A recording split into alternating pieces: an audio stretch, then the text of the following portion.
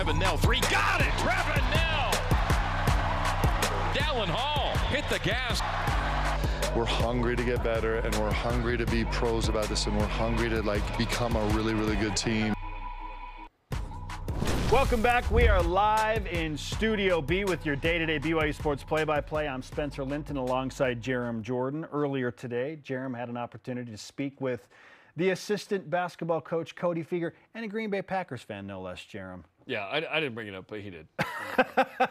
of course he did. All part of a loaded conversation on game day. Jarom Jordan one-on-one with Cody Fueger. I don't know what you expected, Cody, when Net came out. Probably high, given KenPom and AP poll and whatnot. But number two in the country. Were even you guys surprised by high, how high you are right now? Um, you know, just with how we've been playing, I thought we'd be in the top five for sure. Um, but we were pretty pretty pumped to see us at number two, and obviously we know it's early in the season. Um, but we're we're happy with how we're playing right now. There's a lot of kind of that rhetoric, right? Like, hey, it's early, it's early you got to enjoy the hike up to the spot and the view, right? But the hike needs to be enjoyable. Otherwise, why hike? Um, this journey so far has been incredible. Take me back to last year when this team ends the season. You're fifth in the WCC. You don't accomplish a lot of the goals you wanted, but you knew that you had a group that maybe could do something. What kind of work did it take to get a very similar group to this point right now? Yeah, I mean, just think about all the the, the games last year. You know, um, we had some good ones, right? Beating Creighton. Uh, we had three close games with St. Mary's, two close games with Gonzaga. Like you could feel this team last year kept on getting better throughout the season, you know. And no matter what was going on, what was being said in the public, this or that, guys were coming to show up show up and working every day and just working their tail off and, and just getting closer and closer. Dallin and Jaxson and, you know, Spencer and Foose and like I could go down the line, Noah Waterman, all these guys just kept on getting closer and closer. Um, and then Trevin on the side, you know, he was kind of sitting out all last year, but he had a great Doing the voice. shot doctor thing. Yeah, yeah, he had a great voice, and he just wanted to be a part um, last year. And then as soon as the season ended, we just started with work, workouts right away, and the guys just got closer and closer. And then we went to Europe. Uh, I had an unbelievable trip over there. Um, played four really good games over there. Um, and and just we, I can go down the line of all the things that just help this team get closer and closer, but those are some of the main ones. I guess the only loss you've actually had was in Europe. You played a really good pro team. What in in Croatia? in, I think. Zadar, yeah. In Zadar, yeah. That's the only team that's beaten you since March, yeah. um, which is crazy.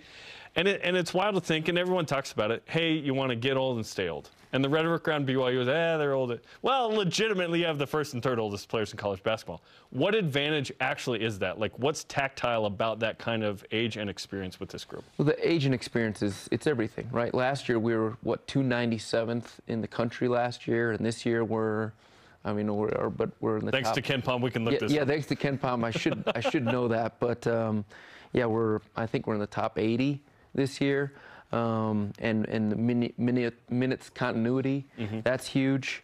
Um, but just you're able to see everything. Right? You you grow from experience at the end of the day. Right? Like even look at Jordan Love with the Packers right now. Of course, right? you bring up the Packers mention there, but finally, yes, we finally won. Great win against Chiefs. Yeah. No, it just takes time and, yep. and takes experience. And these guys were freshmen and sophomores last year right? They were freshmen sophomores. Now they're sophomores and juniors, and they're still growing together, uh, playing together, and really enjoying each other's company and, and playing for each other. It, it, how connected these guys are, it's it's awesome. It's fun basketball to watch. And when you uh, you know gain another year, you don't automatically get better though. Why did this team get so much better collectively, other um, than just getting older? Uh, other than just getting all our, all our individual workouts and the time they spent together, like that, that's it. They're they're trusting each other more and more, and you know that like trust is everything. Mm-hmm. You know, you know, last year's group, Noah, Rudi, those guys didn't come in until the end of September and start working out until October. This this group right now has been working for a year and you know three months now, and uh, no, a little bit longer than that. Yeah, year and three months, and and they're still you know just kind of building and being connected, and, and the trust is just growing and and understanding what we're looking for offensively and defensively. That's that's a huge thing. You know, a lot of these guys come in as junior college transfers or transfers from other Division One programs in high school, and it, it just it just takes time and and you know learning the systems and what we're looking for and and how to be a successful player. Right, that takes time. I'm told 21st in minutes continuity. So that's pretty. That's Thank pretty you. good, right? Thank, Thank you, you. KenPom. Thank you, uh, Colton Potter, our producer. All right, Colton. Okay, this group, uh, seven and zero. You talked about the uh, connection. There are a ton of stats that are really high for BYU right now. I'm not just talking like team metrics. I'm talking like numbers of the way you're rebounding, where you're shooting, the amount of threes you're getting up, and, and the relative points, you know, uh, from threes and whatnot. All this stuff, block percentage. What's one of your favorite stats that really kind of tells the story of this team right now? Um, my favorite one personally is assist opportunities. Um, and year one, we were about, you know, with TJ Haws, Jake Yoeli, those guys, Zac Seljaas, Dalton, Barcello, we were number, uh, we were about 35, I want to say, assist opportunities a game.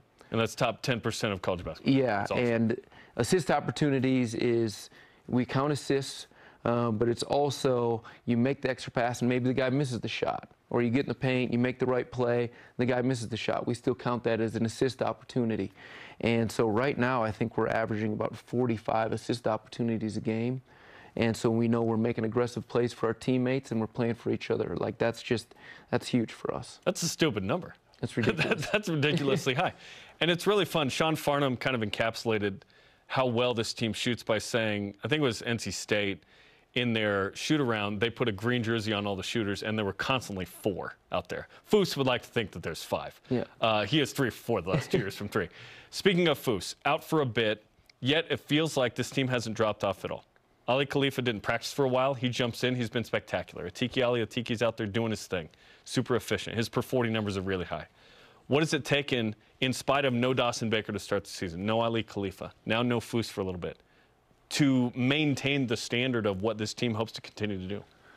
I think it's just at the end of the day, the standard is we're all playing together at all times, right? Like like we talked about being connected, and um, you know, Foose is such a huge presence um, offensively, right? Scoring on the block and just screening and rolling.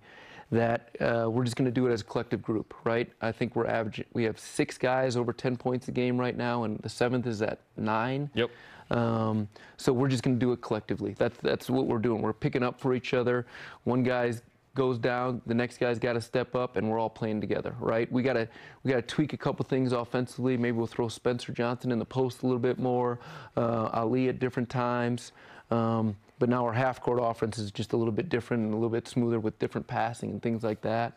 Um, so it's just just a collective group, man. Every everyone's stepping up. We've had how many different score leading scores in every game? I think we're at six. That's Um, silly. Typically, that's two or three at this point. Yeah, especially you know these main after, guys. after seven games, and it's just awesome. Everybody's stepping up. Jaxson just had his career high. Back to back. Yeah, Dallin Nixon or Dallin Dallin uh, Hall just had his career high against um, you know San Diego State, and you know guys are just making plays for each other. It's it's incredible to watch. Let's talk about Spencer Johnson, the Instapot. He is one of 14 players averaging 12, 5, and 5. It's taken a sec to sort of tweak his role a little bit with a couple more shooters, Trevin and whatnot. Um, he's not shooting the three like he was last year, but it, it doesn't matter because his assists are up to five a game. Like, what are, what are we doing here? He is awesome. He has a behind the back assist uh, against Fresno State. What has it taken for him to kind of tweak that role a little bit and be even more efficient overall? Yeah, I mean Spencer's uh, goal the whole time to be the most efficient player, right? I remember three years ago him coming in our, our coaching staff's offices and watching different film on how to be efficient. And every year he's just gotten more and more efficient. Um, and his passing, like you said, is off the charts. And Spencer, he knows what this game's all about. He doesn't want another year like he just wants to win. And that's the best part about him. And he's so dang efficient. Um, he's a pass first guy. Like he, he was a point guard in high school. So he's a pass first guy. And obviously he can score it also on the block and coming off ball screens and this and that. But he's just one of those guys that just tries to uh, help the team no matter what it is. And, and at the end of the day, he's an incredible defender too, right? He, he changed the game against, um, I forget what the first game of our year. Um, I want to say maybe Houston Christian, where he just got two stops in a row and layups. And he's an incredible defender, incredible teammate, incredible leader. American Fork guy. Tonight features some more American Fork guys. Got Trey Stewart, of course, and his high school teammate Tanner Cuff, who plays for Evansville. They won the 2019 state title. Um, Evansville's interesting, seven and one, and uh, number 92 in the net, and a kind of a sneaky trappish game, given that Utah is Saturday. So, what's the focus been like for this group to try and get to eight and zero tonight? Yeah, the whole focus um, by our staff and our players has just been focused on one game at a time and just getting better with what we do well, right? Um, you know, Evansville's an incredible team. Um, the coach is a great dude. He does a great job with those guys. Former Utah It's- State assistant. Yeah, former yep. Utah State assistant. David Um, he- yeah, David Ragland. He's in his second year. Um, you know, they, they play a bunch of different kind of changing defenses with, uh, you know, they'll switch switch a ton of off-ball stuff. Um, you know, offensively, they've got they've got a four-man who can really score the ball, coming from an NAIA school. He's playing at a really high level, averaging about 18 a game. We'll have some NBA scouts here tonight to watch him. How many? Uh, I don't know exactly, but I know we'll have some. Yeah. Um, so they got a really good team, played really well together. He's got those guys really connected right now. I mean, they were one of the worst teams in the country last year, and they're taking Five wins, seven wins already. yeah, Yep. and taking a huge, huge step this year. Um, so it, it's been, uh, you know, it'll be an exciting game. But we're focusing on ourselves, what we do well, our transition offense, uh, keeping the turnovers down, um, going to the offensive glass every single possession, wedging. Right, we're doing an incredible job doing that. Um, our ball screen defense, our transition defense, and and you know, guarding our yards. Those are those are the important six things that we're always worried about. Okay, again, million percent focused on Evansville. But we found out that Bill Walton's going to be on the call on the Pac 12 Network Saturday. What's the funnest or weirdest story you have about Bill Walton at a shoot around over the years? I'll tell you, my favorite thing was uh, the last time we had Bill Walton was in Maui, and I would say we were playing UCLA in the Maui Invitational 2019, um, and it was just such a fun game, right? That was Coach Cronin's, I think, first year, and we played so well. And I don't have a great story about, you know, I just remember him asking a ton of questions and things like that. But my favorite thing was listening to the call after the game.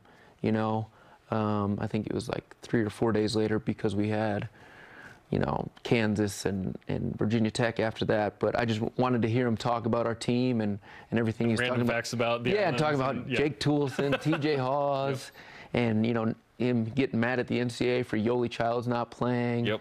Um, I mean, I, I just, I mean, he's a legend, and it's it's fun to listen to him. And here's what he's got to say. There are those who are not as big of fans. I'm a huge fan personally, and my best Bill Walton story is that he put an entire paragraph of information to Kyle Chilton, the sports information Yeah. director, a couple years ago, in the subject line. It wasn't in the body of the email, just all in the subject line.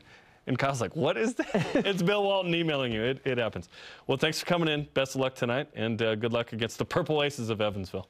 Appreciate you. Thanks. Cody Fueger on BYU Sports Nation. BYU trying to get to 8 0 against a team that's top 100 in net. They're, I stand corrected. They're 90 in net now, not 92. So, uh, wow, let's go.